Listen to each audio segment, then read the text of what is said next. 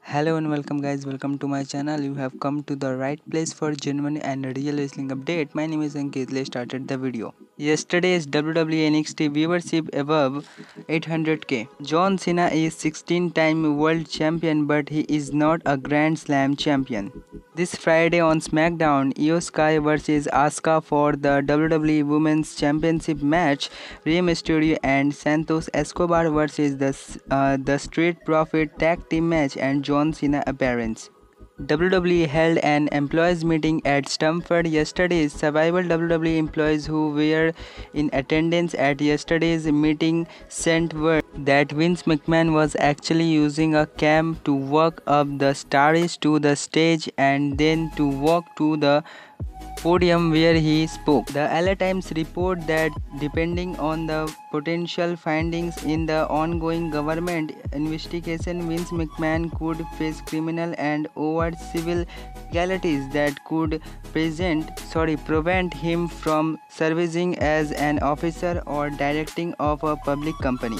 Jon Moxley aka Dean Ambrose is reportedly believed to have suffered a minor injury during his match with Rey Fenix on AEW Dynamite. According to reports, the finish was unplanned.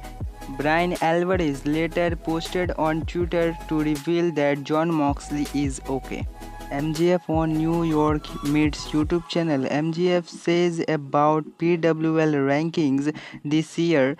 MJF said they put me at 6 behind a guy named El Hijo del Vikingo. Can you uh, name can you name me two El Hijo del Vikingo matches? No, you can. I could go on and sorry, I could go on and on. Everybody knows who is best. WWE announced Elimination Chamber 2024 to be held at Optus Stadium on 24 February in Australia. According to BW Survival Australians, WWE stars are expected to pushes in lead up to WWE Pele in Australia event next year. While speaking on the Joe Rogan podcast, Kurt Angle says Vince McMahon told me that he plans to live until he's 120 years. When I come back to WWE, he said I am gonna have this company for a lot longer than you think. I am never lifting the company go. I am always gonna be working here. Thanks for watching. Subscribe for more videos.